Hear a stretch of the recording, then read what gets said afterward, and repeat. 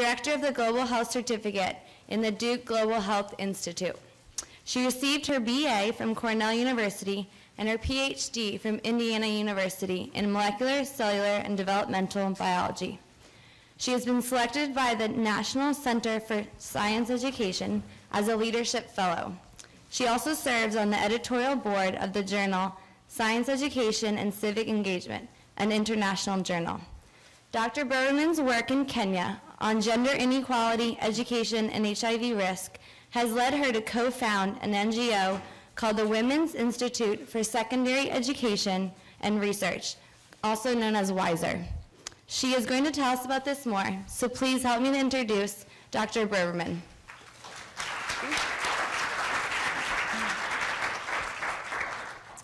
Thank you very much. I am going to turn down the lights. I wish a little bit. They're going to be a little more than I'd like, but hopefully I can keep your attention here. That's pretty darn dark. Okay, um, thank you, Shannon, for that invitation. And um, now that you've said the Women's Institute for Secondary Education and Research, I can just say WISER from now on.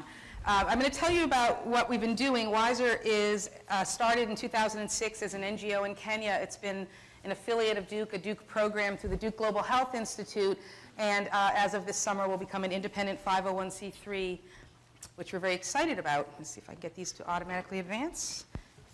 I'll put it over here. So the vision of the NGO is to create a replicable, I can never say that word, I got to take it out of the vision, a replicable model for generating gender parity in education, health, and community leadership in the global south. And I'm going to show you, and most of you probably know, that education, health, and international development are really are inextricably combined.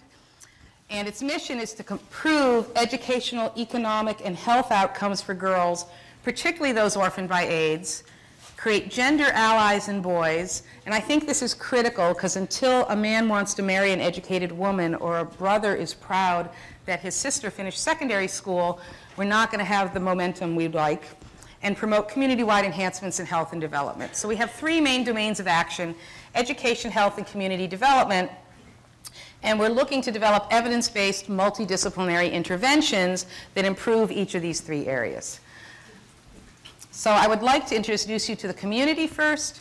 Bay is a little fishing village in a little spit of land. You'll see it later in a satellite image, right on the Tanzania border, right on Lake Victoria. Uh, very poor community. It's about 25, 30,000. There hasn't been a good census. Um, I would normally, there's no running water, there's no sanitation. Um, I would say there's no electricity, but you could see the first power line that just came in to this downtown area. A few people have started to see electricity, um, but again, it's very expensive, so the majority of the people don't. They still use kerosene. This is downtown. Um, few cars, a lot of goats. So it's a very poor Kenyan community. The women work very hard. Traditional rural area where the women do the bulk of the labor, whether it's taking care of children or collecting firewood. Uh, this is a neighbor of mine, Mamo Chali. Um, I'm going to come back to the idea of women having to carry firewood. I wanted you to have that image uh, and think about how long it would take her to walk around, carry that, and bring it back. To really understand this community, small, rural, undeveloped fishing village, you have to understand the culture of communities around Lake Victoria down. So the lake is everything to people. If you want water to drink, you go to the lake. If you want to wash your clothes, you go to the lake. If you want to wash your dishes, you go to the lake. If you want to wash your little brother's uh, soiled pants from diarrhea, you go to the lake and you wash them where everyone else is getting water and washing their dishes. It is the source of, everyone calls it the blessing and the curse of Muhuru Bay because it is the only source for water for all the things I mentioned as well as any kind of irrigation for agriculture. The problem with the lake is it is also the major source of economic development in the area and that fishing is the only cash uh, economy in the area. The problem with fishing is that the men um, fish up and down around the Lake Victoria, down to Tanzania, up to Uganda, and they have multiple sexual partners around the lake. This is also a naturally polygamous community, so men having multiple wives in different villages is completely accepted. And so these men end up becoming transmitters of HIV around the lake. And you have a lake effect on HIV rates throughout Kenya. which I'll show you in the next slide. There's also a continued problem, it's been well studied in all the Great Lakes in Africa, of this fish for sex cultural process, where um, for- if women want to get into the cash commodities, what they have to do is basically have sex with the fishermen. The fishermen give them the fish. They take the fish, they go to the village, and they sell the fish, and now they have shillings. And that's one of the few ways women can get hard currency to buy shoes for their kids, or pay medical bills, or send their kids to school. So, uh, again, th- this is a really well-developed and integrated economic system that really exploits or allows HIV to be exploited and be transmitted. So if you look at HIV rates, I'm going to have to stand over here, I'm sorry. Across Kenya, first of all, the little bit on the right that's bright red is Nyanza province, and that is right on Lake Victoria. And Kenya overall has 7% HIV infection rate. Nyanza has 15% HIV infection rate. And if you looked along sort of the lip of the lake, you would find 38% HIV infection in the fishing villages. And again, this has been replicated in Uganda and Tanzania and the other Great Lakes in Kenya, this fish for sex process. So you have a tremendous disease burden and a great number of AIDS orphans. The blue cluster of AIDS orphans you can see in the center of the country are, is Kibera, the slums of Nairobi. You can see that. Because of being in the lake area, we also have the highest, um, well, sorry, malaria rates in the country as well, um, and the highest infant mortality as well. So infant mortality is about five children not living past their first birthday for every thousand live births in the United States, and it's 150 per thousand in Nyanza province. This is a really strong indicator of poverty and lack of development, this high level of infant mortality. So you have incredibly high disease burden with, um, on children, malaria, and HIV.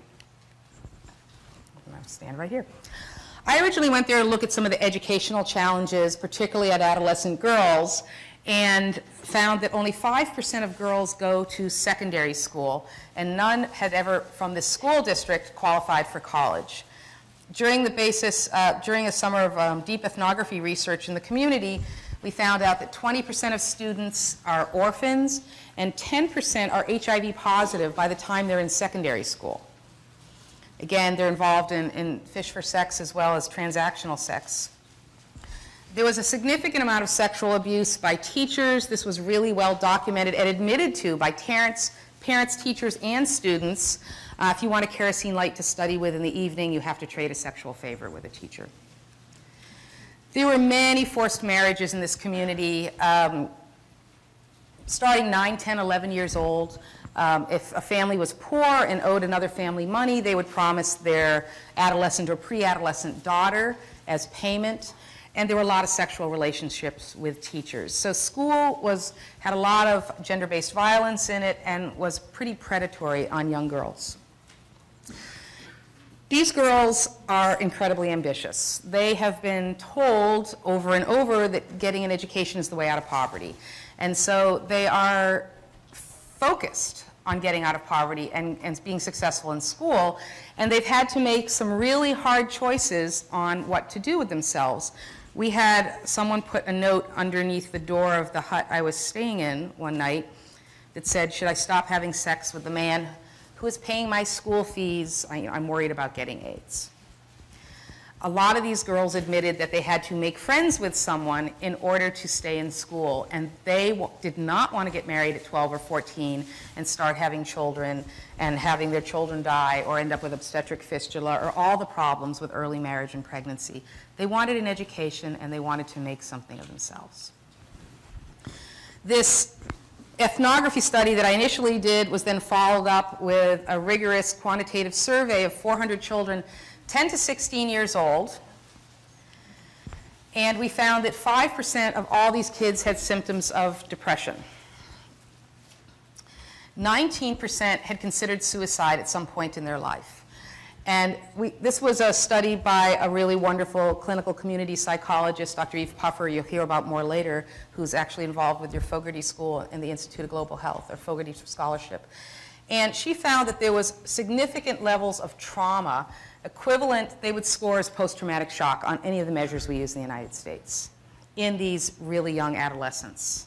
And the trauma was having watched a loved one die. And I've told you about the HIV rate, I've told you about the malaria rate and the infant mortality. And so imagine watching your mother slowly waste away of AIDS and then your little brother die in two days of, of diarrhea and dehydration. And you're left at 14 as perhaps head of household. And you don't have a hope for the future. So there was trauma, and there's also a significant level of violence in the community. Um, they had witnessed beatings or had experienced them themselves. There's a lot of violence. In the classroom in Kenya, caning is illegal, but practiced fairly routinely, certainly out in the areas where uh, we are, far out from Nairobi and Central Valley. Shockingly or maybe not shockingly, of these kids 10 to 16 years old, of those that are sexually active, over 50% are having sex for money already. And when they're very clear, uh, again, these were anonymous uh, surveys about what they have sex for. Well, first of all, um, they can make equivalent of about $1.25 for carrying firewood for an afternoon, which is why I showed you that picture of the woman collecting firewood. Takes two, three hours walking around. It's hard work. It's hot. You're thirsty. You can make three bucks for 10 minutes of sex.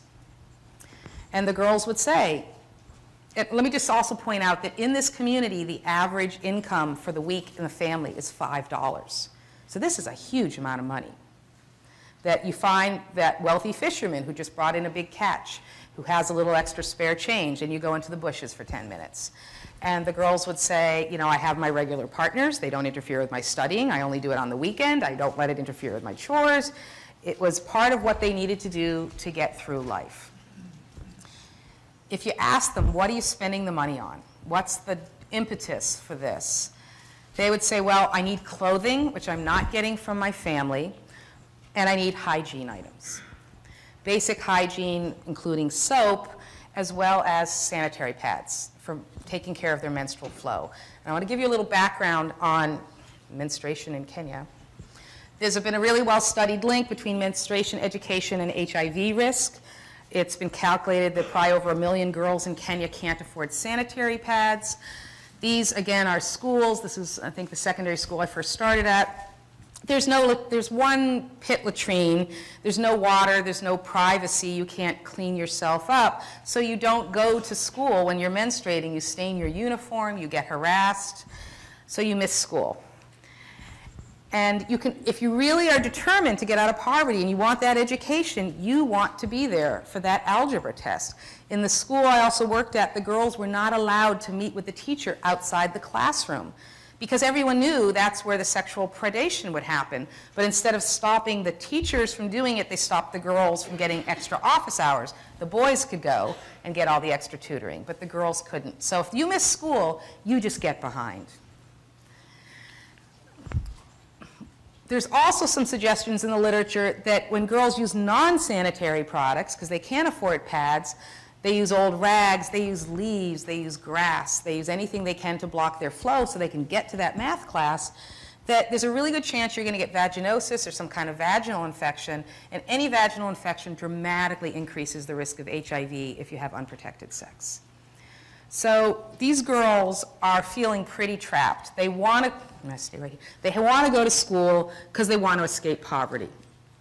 But they start to menstruate and they have no pads, no water, no bathroom, so they stay home, their grades go down, their parents start saying, what a waste of money to educate a girl, it's not worth it anymore, we're going to marry you off.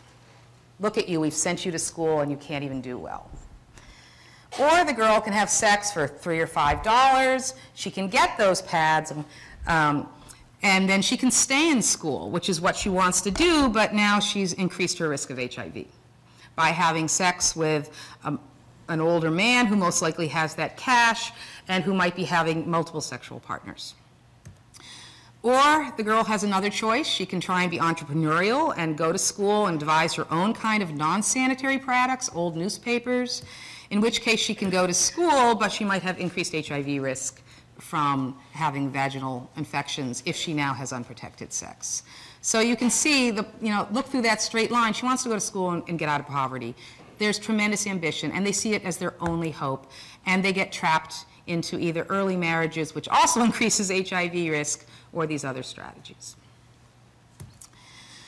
So there's a, this is a very poor community, there's bad education, there's malaria, HIV, transactional sex, trauma. It hurts everyone there, but there's an extra burden on the girls in this.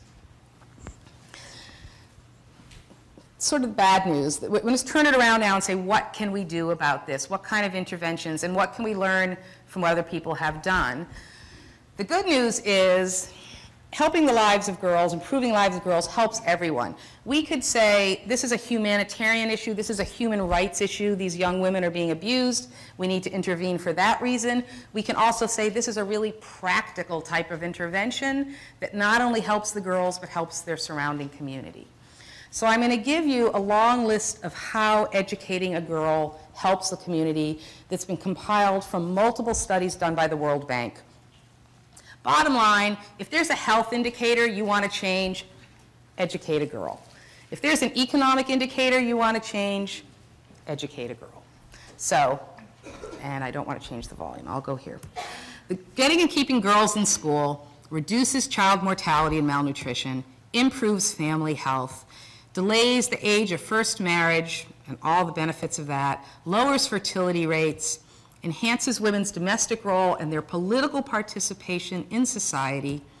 It improves their functioning in the wage labor force, strengthens a family's survival strategies, it increases economic growth. And study after study has shown that the causation is clear. Improvement in girls' education is the cause of this increase in economic growth, not the effect. So you want to change society, educate a girl. There's been a lot of interest shown by this by major corporations and foundations. The Nike Foundation has launched the Girl Effect program, which has $100 million to start looking at the pivotal role adolescent girls, between 12 and 14 particularly, play in developing countries. I'm happy to say we're now affiliated and have received some funding from them. The Center for Global Development has had a whole series of reports on the impacts or the importance of focusing on girls, particularly a new agenda for global health, Start with a Girl. What role does adolescent girls' health play? The literature is starting to burgeon with new papers on looking, teasing apart these impacts here, education and vulnerability, the role of schools in protecting young women and girls from HIV in southern Africa. They have a really nice um, intellectual theoretical model about the different ways enhanced educational attainment can reduce HIV infection. I don't have a pointer, but I'm also particularly interested in on the far right the socioeconomic status because it's been shown that women that have are, are economically independent are sexually independent and have autonomy over their sex lives. They get to choose their partners, the when, the where, and the what timing. So very excited about this. Study in Uganda showed there's a 6.7% reduction in the risk of infection for every year spent in school. Even one more year of high school is protective. H- it turns out that education is the most protective factor you can do for an adolescent girl for keeping her HIV free. A report in South Africa keep them in school, the importance of education as a protective factor against HIV infection. And girls in this study who completed secondary school were half as likely as their peers, half as likely to be HIV positive as their peers who drop out. So you could have a dramatic impact on the uh, health of the girl herself by keeping her in school. Harking back to that World Bank list of, of um, positive impacts, you're also going to have an impact on the next generation. I'm give up on this. The Lancet, just this fall, published a paper on increased educational attainment and its effects on child mortality in 175 different countries over a 29 year period. And they found that of the 8.2 million fewer deaths in children younger than five, they estimated that over 50% of that reduction in infant mortal- child mortality could be attributed to having educated mothers. 50% of the reduction in child mortality we have done in the last 30 years is from educating girls. There's no other intervention or factor that has had anything of that scale of an effect. So people often say, well, you're not doing health work, you're putting girls in school. And I was like, that's the best health work we can do in some of these communities. It's not the only thing we should do, but it's a critical factor. So, WISER A lot of theoretical background on the impact of this, a lot of huge need in this community for developing it. So I'd like to now tell you the various programs we've implemented and some of the things we have learned in the process. And go through some of our signature programs. At the heart of it all was a new secondary school for girls in this community. Remember, less than 5% had ever gone to high school in this community. We are now opening a school for 120 girls, which will be the largest number of girls to ever go to high school in this community. They're on full scholarships. They get everything down to the underwear and, yes, the sanitary pads in order to get to this school. Kenya, in theory, has free secondary education, but that means tuition is free, boarding is not. The majority of schools are boarding schools in Kenya, as well as uniforms, books, paper, all that. We want these girls to come out and become economically independent. We also want some to go on to higher education, so we're emphasizing skills for postgraduate employment. That means computer and technology skills as well as foreign languages. When I first went to this village, they had never, the girls had never met an educated woman. There was no female teachers anywhere in the school district. So now we have brought in highly skilled female teachers, and we brought in access to health care and health education. Again, at these boarding schools, if you get sick, they send you home to die because they don't want you to die on campus. When I first went there, there was a girl who had malaria and typhoid and had left her dormitory, not to WISER, when I went first to the other school, and um, I asked the principal. You know, I spent a long time running around demanding answers from people before I sort of figured out how to work in the system. You know, what are you going to do if, if Mary doesn't get better? And they say, well, we send her home to home. If she's going to die, we send her home because we cannot have her die on campus. And that is true for many of the schools in Kenya. There's no, um, no health support. So this was after the first term. The girl, girls came in physically battered. Four of them were pregnant by their primary school teachers, uh, shy, and the transformation in their personalities to the end of the year was, I could look at Margaret forever, was just phenomenal. And I was just there two weeks ago to bring in our second group of girls, and again, to see the first group suddenly become peer mentors was, it, it, was just a magical moment. So it's really exciting. We had zero attrition, 100% coming back for the second year, which again is, is pretty unheard of in that area. So we started a secondary school, but we were working with a primary school program district that was, didn't do a very good job and also had very high attrition in the primary school. And we did not want to do remedial work at our secondary schools. So we started what we call Wiser Bridge, which is the bridge from primary to secondary. For those not familiar with uh, Kenyan educational system, primary goes through grade eight. There's no middle school. So we are now working with over 700 students, and most of these are boys. WISER, the school is girls only. Every other program I'm going to tell you about is co-ed. And it's how we develop gender allies. It's how we get the whole community supporting our programs. So we are working with the whole school district. We now have as a, a case study. When we first went there, so we, we wanted to implement several things. First, we wanted to increase access to appropriate educational materials. Sometimes they didn't even have books. We also brought in professional um, seminars to do teacher to professional development and build capacity in the educators. We brought in external accountability by having four exams a year to show progress along um, throughout the year, and community engagement. Uh, when we have a Wiser Bridge ceremony to celebrate top teacher or top girl or top boy, one to 2,000 people show up for the community. It's a major event, and schools and the different chiefs in the area now compete to see which, who's going to have the top kid from their district. So we have made this a major event and changed the valuation of of education. I have had parents say, I've taken away all my daughter's chores so she can study more because she's going to be the top girl at Young Guayo next year at that particular primary school. So um, there's been a cultural shift as well.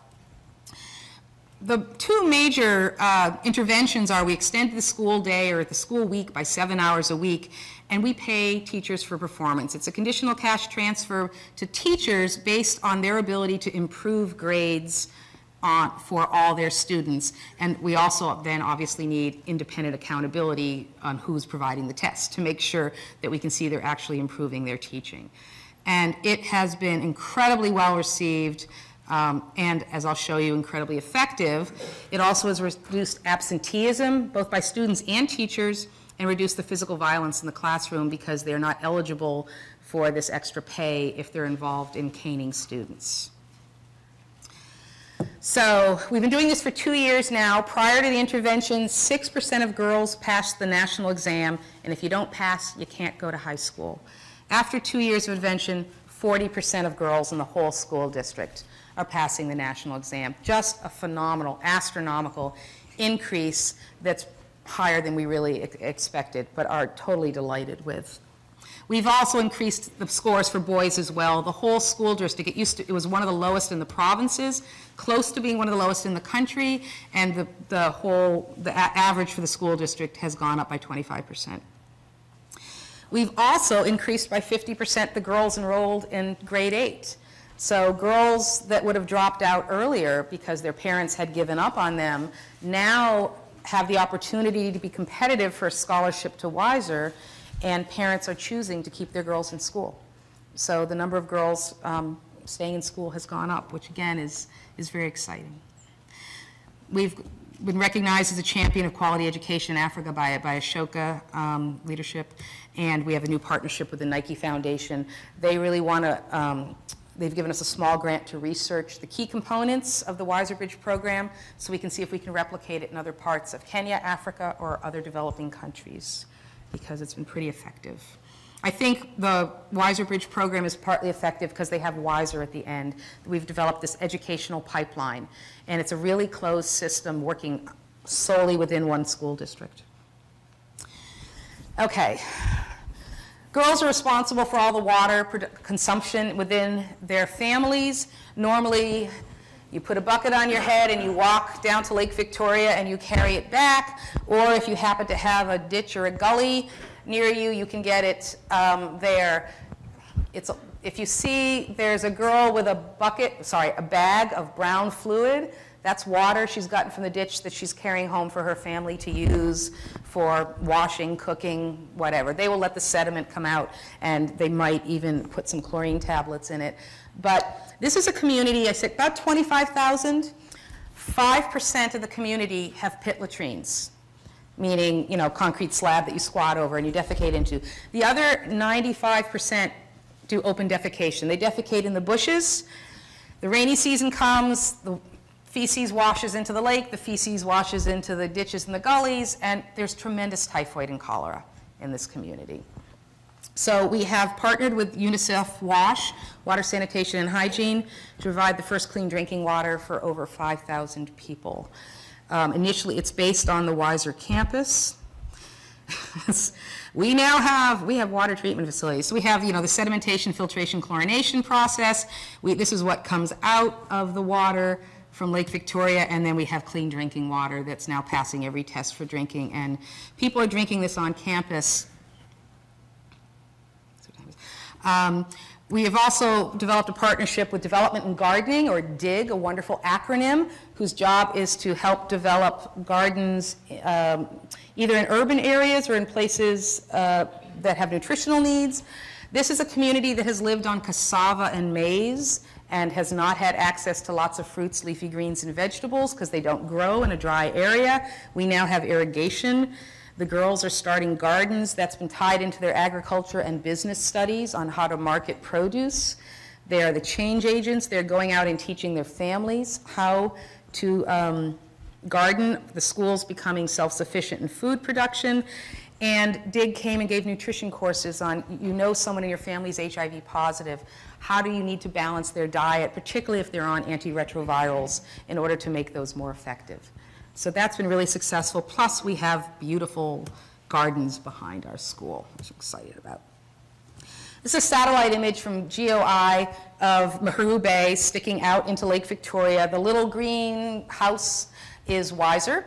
Um, some of the other thumbtacks are some of the primary schools we're working with.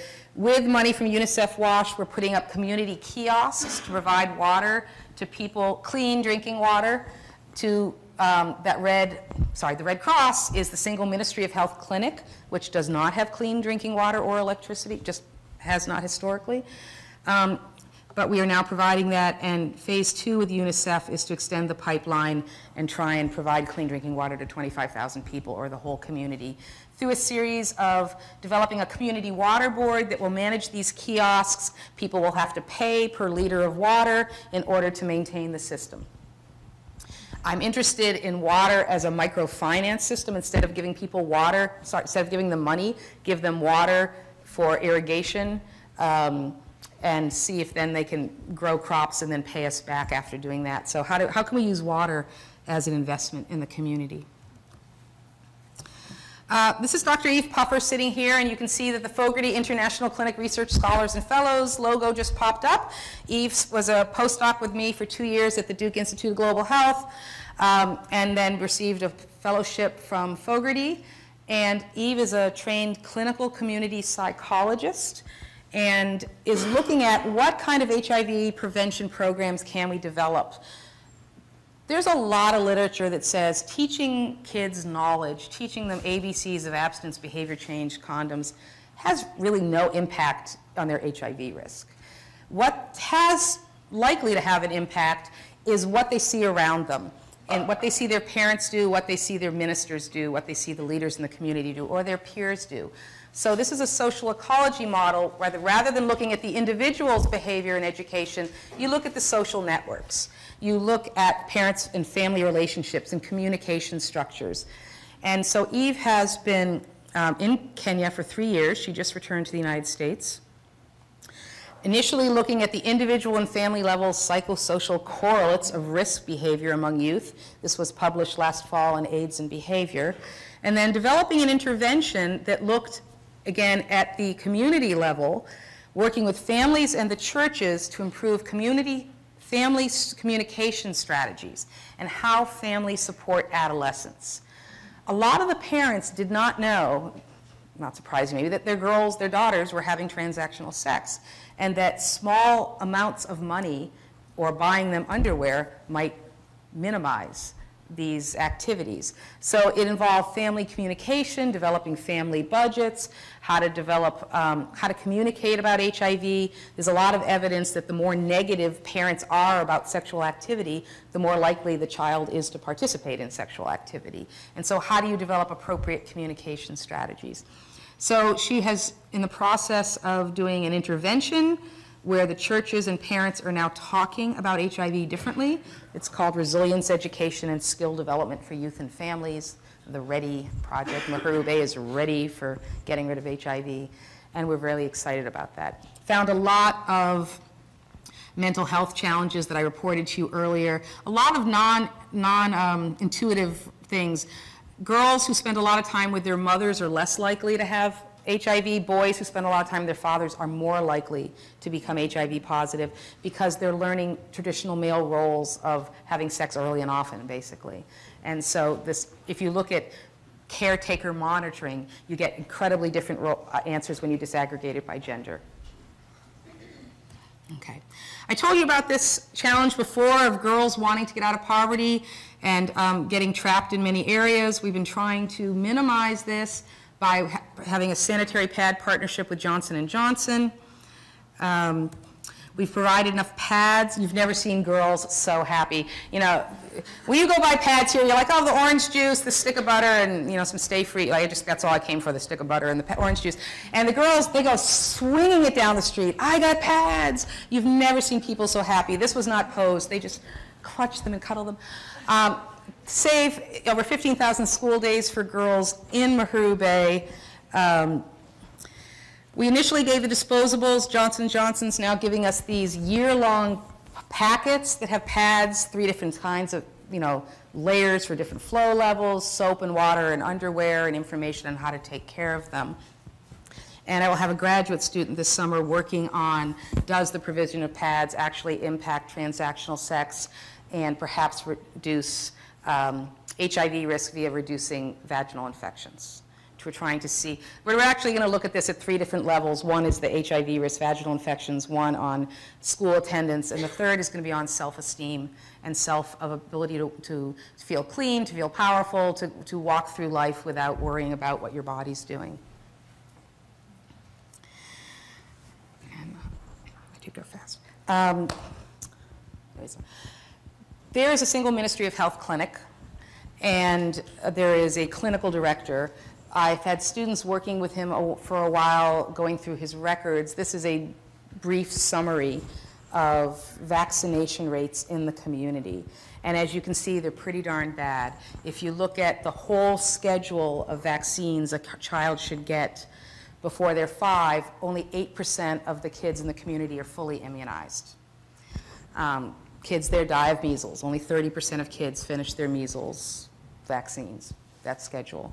So, again, this summer, he's been asking us to do this for a while. I'm finally getting the staff people to do it this summer, to identify the barriers to childhood vaccination. Are there geographic uh, barriers? We're going to GPS map the catchment area.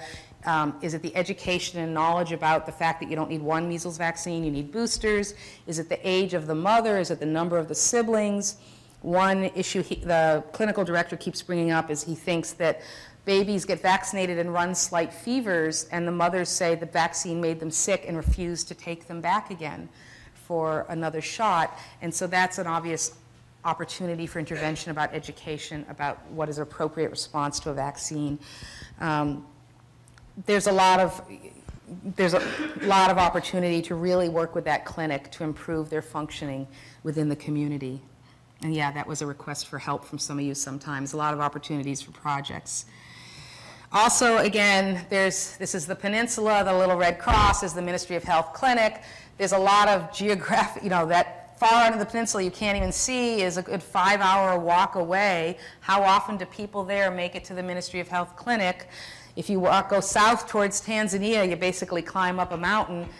You can't drive up there. I've only been up there on the back of a motorcycle. How often do people there walk down to the Ministry of Health Clinic?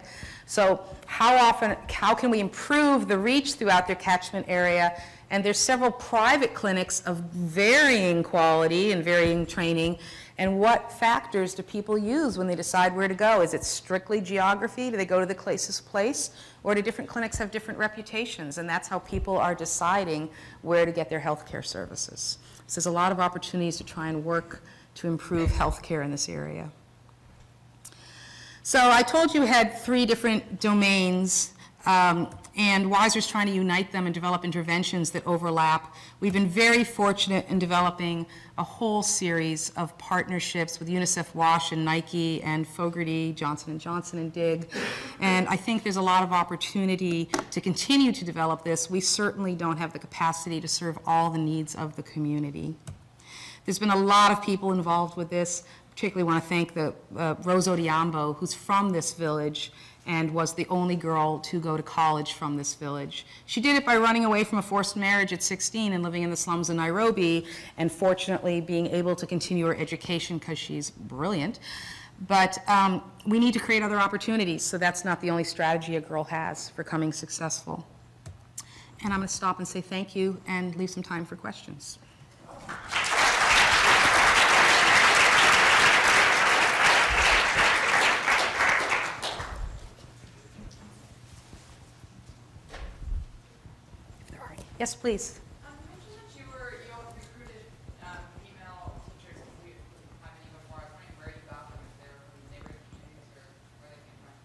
Uh, they're all Kenyan. Um, first of all, we recruited an absolutely phenomenal principal, and we just uh, really lucked out in that there was a, a top-notch principal from a premier private school in Nairobi who happened to come from the next village over and was looking forward to retirement and an exciting new project. So she came in. She was extremely well connected. She was on Kenya's National Advisory Board for um, generating the policy on free secondary education. We also just advertise nationally. Um, we, not everyone wants to live where we are. Um, we are putting in the, with that UNICEF water, uh, toilets and showers, and trying to create a different housing environment than is available in the neighborhood for people who have lived in big cities and um, so that they're comfortable living out there. Uh, we've actually had no trouble recruiting, and we have a really great group. When I was just there, we just hired three new teachers as we're expanding our students, and they've all are married and they all have their kids out there. I worry about the educational opportunities for our teachers' students, like where are they going to go to school? Um, But uh, it's really growing as a community right now. We pay fairly well because we want happy teachers. We do a lot of professional development. The first cohort of teachers were brought to the United States for a month for professional development and team building. So, and we're putting in a computer center for a lot of international linkages. So it's a, it's a, it's a good place to work in many ways. It's just the back of beyond. There's another question here, yeah. With all the uh, increase in the girls that are eligible for high school, how are you going to serve forty percent instead of six percent? We can't. Um, You know, we, had- two years ago, we had the problem in that not enough girls were passing the exam, so we had, we got a permission from the Ministry of Education to take girls who had failed in as case studies to show that they could do well, and they're astronomical, they're doing great. Um, Now we have too many, well, no, that's great. If they can be competitive to other schools in Kenya that get scholarships, that's wonderful. We now have to track those longitudinally to see what happens because you know there's a phrase in Kenya, uh, in parts of Africa called educational wastage. You invest in someone and they get an education and nothing comes of it, and we want to see. Hopefully that is not happening. Maybe they'll end up at Alliance or one of the other nice, uh, if not a national school, maybe a provincial school. So we're hoping to float everyone's boat. We know we're not only going to take 30 girls a year until we're up to 120. We also give scholarship to the top boys. Again, that's part of our community buy-in. Um, so not 30, but the top three boys get free scholarships to anywhere in country they can get accepted. So we're going to be up to eventually 12 a year once we have three per year after the four years of high school, um, which is again part of being a good neighbor and a good partner with the whole community. But you know, a lot of boys are passing, and we're hoping they're just going to be more competitive. I, I could back this up and say Kenya needs a lot more. They don't have the capacity. They don't have the capacity for all the smart people they have. I mean, 200,000 kids graduate from high school every year in Kenya. 50,000 pass the national exam. That tells you how bad the national exam is or the education is, because you shouldn't throw away three quarters of the kids that you transfer. Out of the 50,000 that graduate, there's only room in colleges for 10,000. The, the class capacity for the nation of Kenya is 10,000 in public schools. There's another 40,000 that are great, smart, made it through the system, and have nowhere to go. Um, so there's, it's a huge issue. There's a lot of unemployed, brilliant, educated people in Kenya that we have to think about of where are WISER girls going to land. But right, you know, we're building the pipeline piece by piece. There were a whole bunch of other questions over there. Sorry. Yeah. What, what is the yearly cost of educating one young woman at WISER? Um, At, when we're at full capacity, it'll be about $3,500 a year, 3,500 a year, which could be really high or really low depending what perspective you're looking at. We have to, um, there's some great other models in Kenya. Starehe High School is a public-private partnership where it's a private school, but the Kenyan government provides all the teachers. Problem with that is you can't fire a teacher for sexually harassing a girl easily in Kenya, and we want to be able to have control over teacher behavior, so we have to pay all our own teachers. So um, it's, it's, it's, it's a private school, it's expensive. Yeah.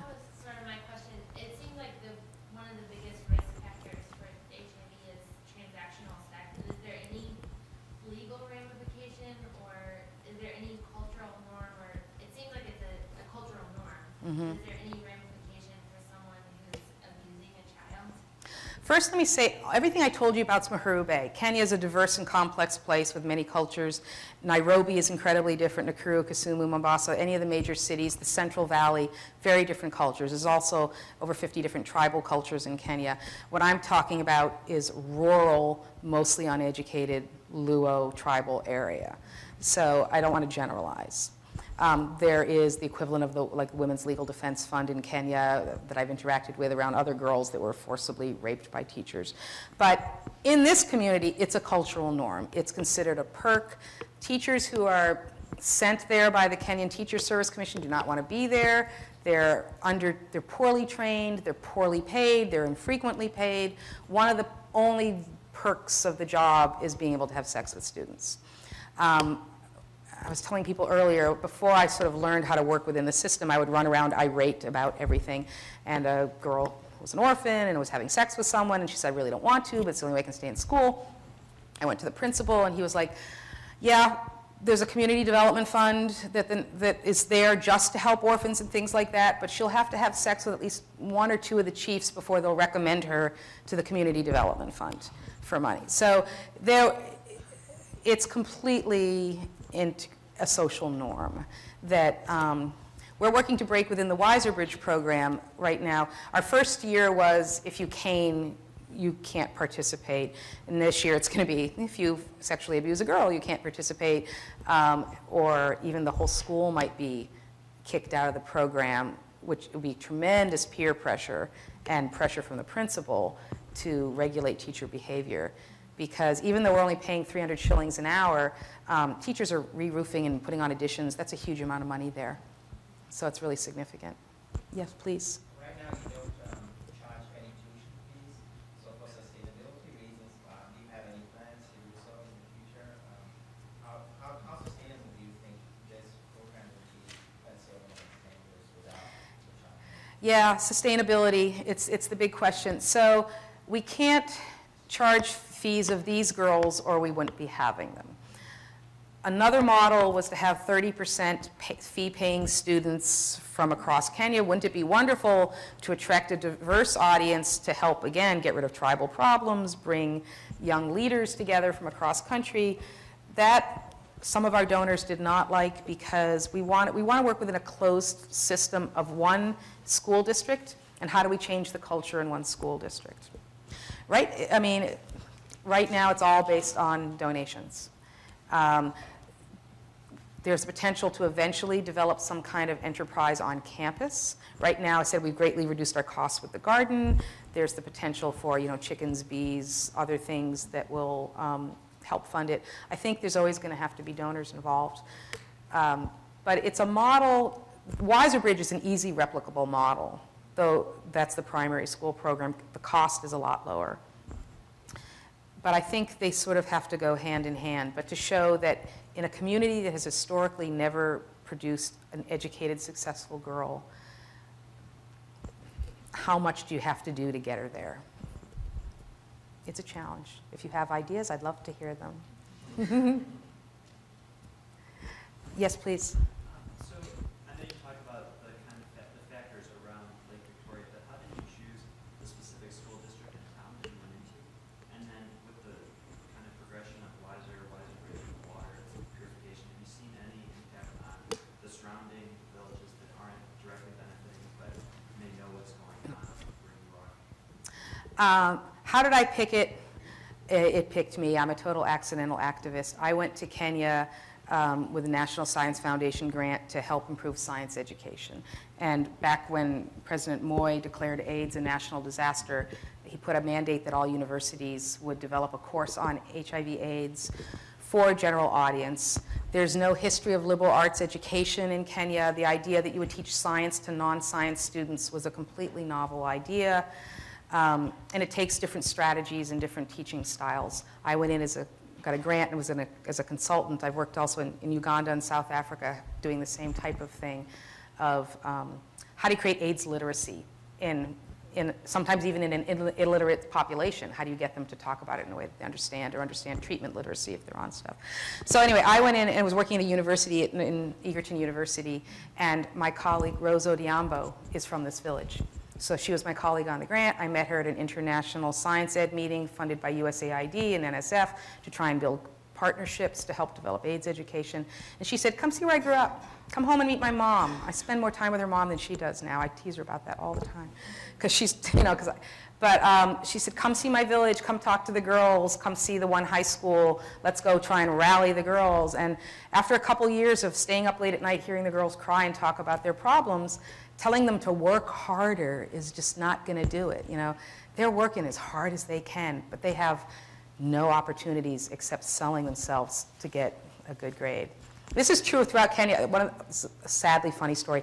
In at Rose's University at Egerton, so many girls were getting good grades by having sex with professors. They were calling it STDs, sexually transmitted degrees.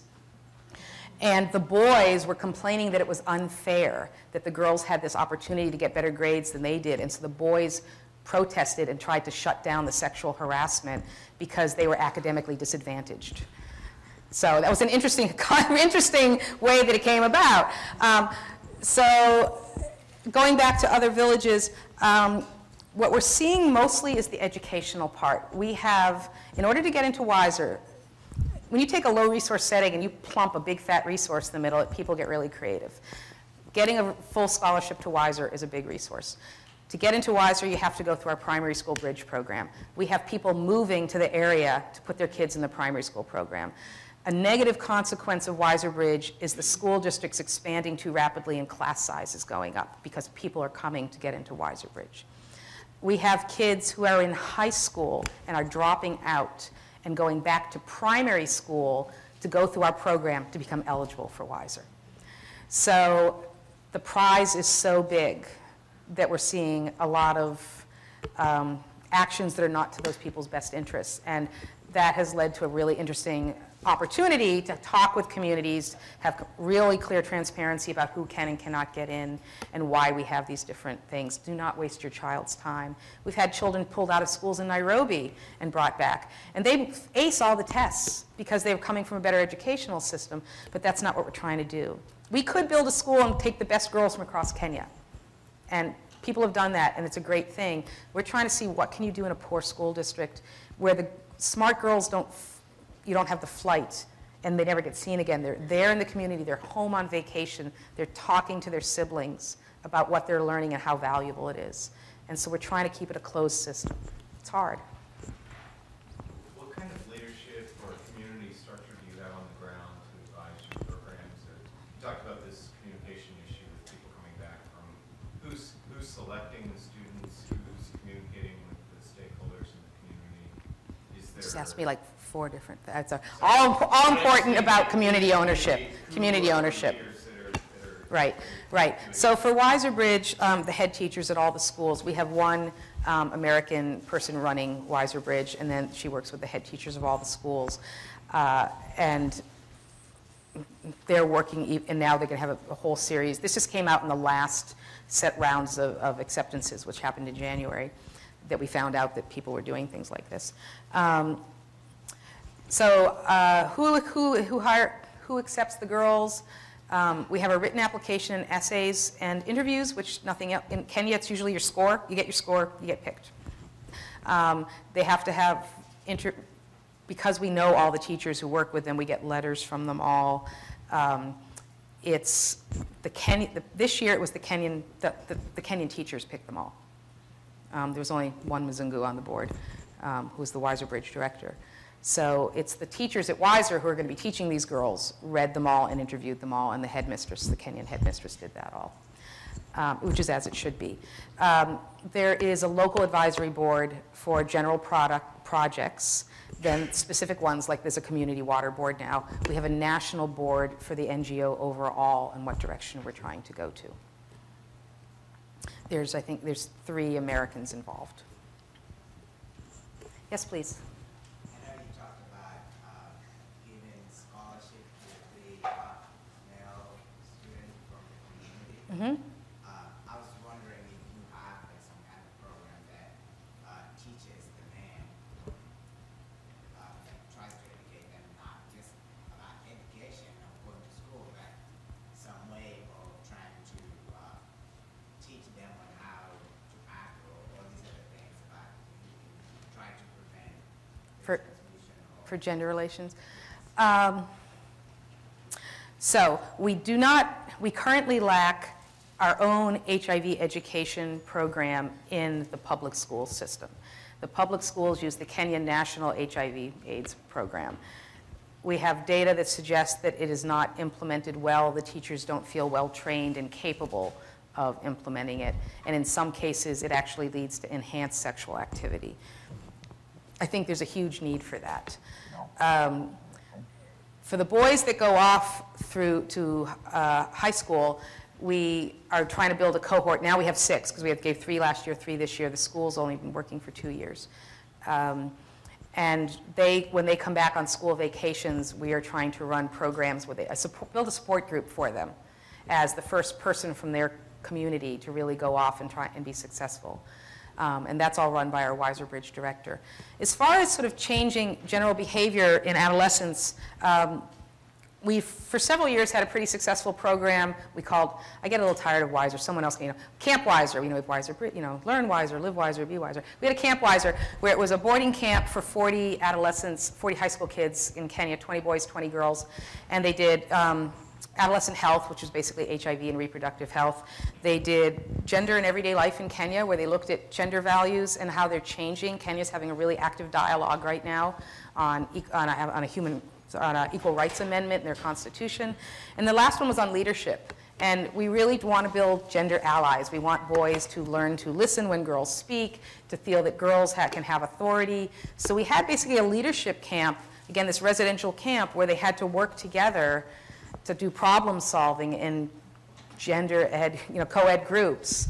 Um, and that really seemed to have a lot of impact on, on boys who had only seen girls as water carriers and people who ate after they were done eating and, and weren't really part of their lives. So we hope to continue those, those summer camps.